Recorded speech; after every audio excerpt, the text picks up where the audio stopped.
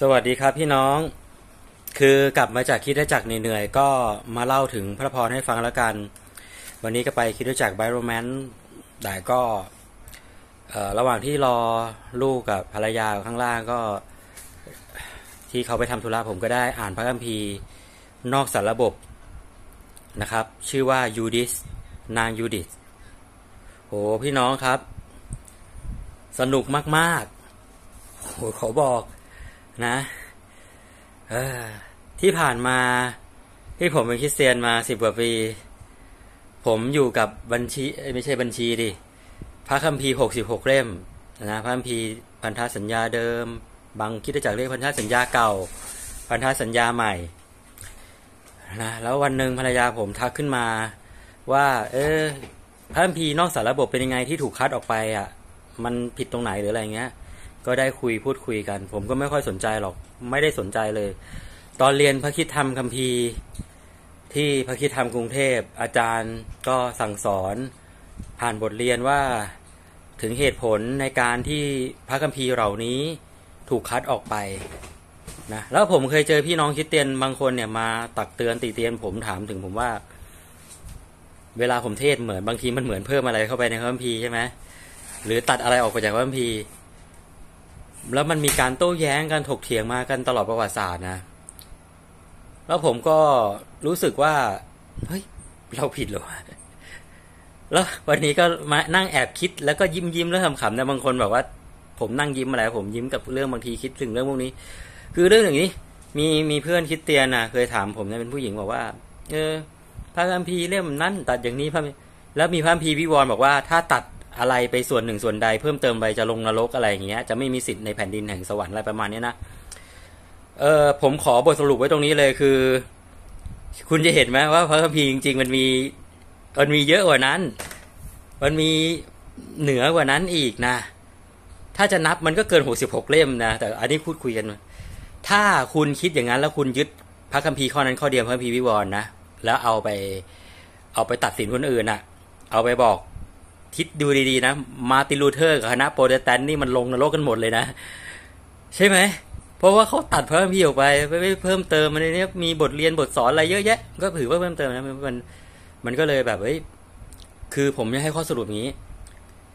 คือการที่ผู้นำโปรเตสแตนต์เนี่ยมาร์ตินลูเทอร์ แล้วก็คาลวินเองอะไรเพียวริตันเองอันนี้แองกลิกันเอง คัดพระคัมภีร์ตกลงกันแล้วว่าเหลือหกสิบหกเล่มเนี้ยมันก็เป็น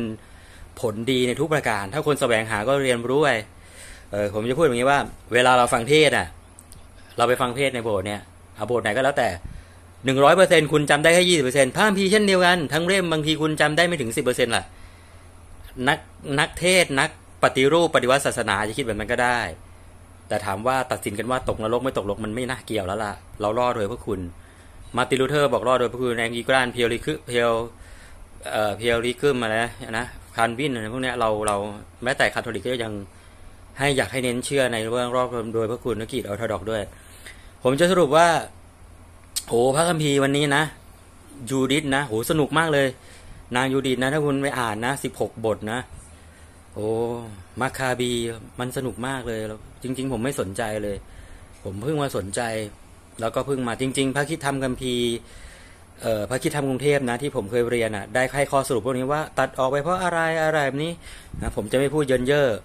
ยูดิสเนี่ยนางยูดิสเนี่ยเบียบเสมือนกับว่าเอ่อกลยุทธ์นารีพิชิตโอ้สนุกมาก สนุกกว่าสามก๊กอีกสามก๊กก็จะเราจะคิดถึงตองอ้องอุ่น ไปไปจัดการริโป้กับตังโต๊ะ ใช้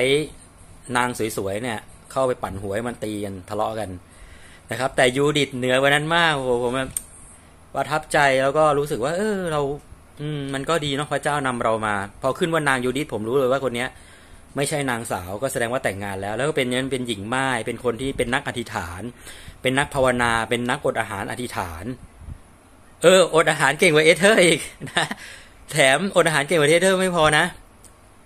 ในพระคัมภีร์จารึกไว้ว่า สวยสดงดงาม ถ้าเปรียบเทียบเป็นตัวอักษรหมัดต่อหมัดปอนด์ต่อปอนด์นะสวยกว่าเอสเธอร์คิดดู อ้ผมรู้สึกประทับใจพระคัมภีร์ประทับใจการบันทึกพวกนี้จริง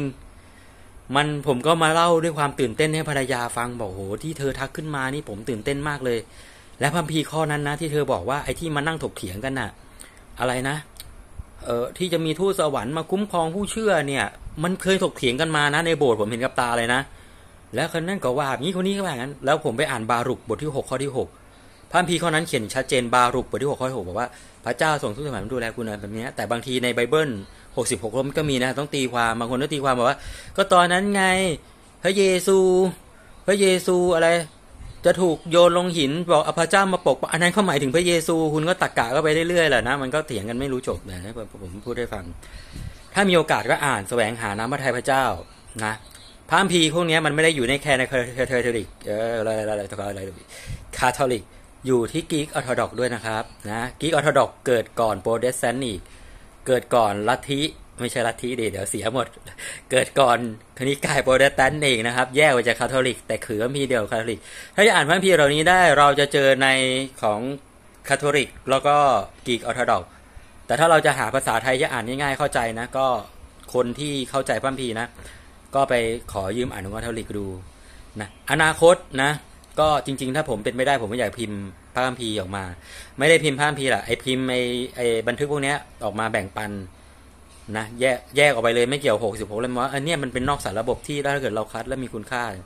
แล้วยิ่งสนุกไปกว่านั้นนะพี่น้อง ผมก็อ่านยูดิธใช่ไหมนางยูดิธแล้วก็อืมมันมันต้องอยู่ในช่วงก่อนเอเธอร์ แล้วผมเดาถูกด้วยมันอยู่ก่อนเอเธอร์ อยู่ใกล้ๆยุคสมัยเดียวกันอันน่ะ ประมาณนี้แหละ อ่า แล้วทีนี้นะ โอ้โห สนุกมากเลยแล้วก็ อืม ซึ้งมาก โอ้โห มีอะไรที่แบบ ไม่น่าเชื่อเลย นะ นะก็นะ แล้วก็มันมีอีกประเด็นหนึ่งอยู่ใกล้เอเธอร์ใช่ไหมลูดิสผมจะพูดว่าอะไรเลยลืมเลยโอ้สนุกมากเลยอะ เอออ๋ออ๋อ แล้วผมก็ลองเปิดเอสเธอร์ดูดูเปรียบเทียบกันดูว่ามันตรงกันไหมไปเจอเรื่องหนึ่งพี่น้อง จริงๆพระคริสตธรรมกรุงเทพเคยอธิบายนะเกี่ยวกับเรื่องที่ว่ามันสับกันแล้วมันมีความฝันของโมเดคายความฝันของโมเดคายเป็นนิมิตความฝันเลย ตอนแรกโมเดคายเนี่ย ลุงของเอสเธอร์ไม่รู้นะถ้าเราไปอ่านพระคัมภีร์คาทอลิกเนี่ย มันมีความฝันแล้วโมเดคายบอกว่าฝันนี้หมายความว่าอะไร แล้วพระเจ้าก็ทรงนำผมนะ ไปเปิดตอนจบนะ ผมอ่านข้ามไปไปเปิดตอนจบเปรียบเทียบกัน เฮ้ย โมเดคายเข้าใจความฝันนั้น แต่พระคัมภีร์ของพวกเราเนี่ยโปรเตสแตนต์เนี่ยถูกตัดออกไปในเรื่องนิมิตความฝันนั้น แล้วส่วนเรื่องที่วางแผนวางแผนฆ่ากษัตริย์เซอร์ซีสอะไรตรงนี้นะ ที่โมเดคายไปแอบได้ยินเนี่ยแล้วไปรายงานกษัตริย์เนี่ยจนมีความดีความชอบเนี่ยจะอยู่สับกันกับพระคัมภีร์คาทอลิกนะอ่า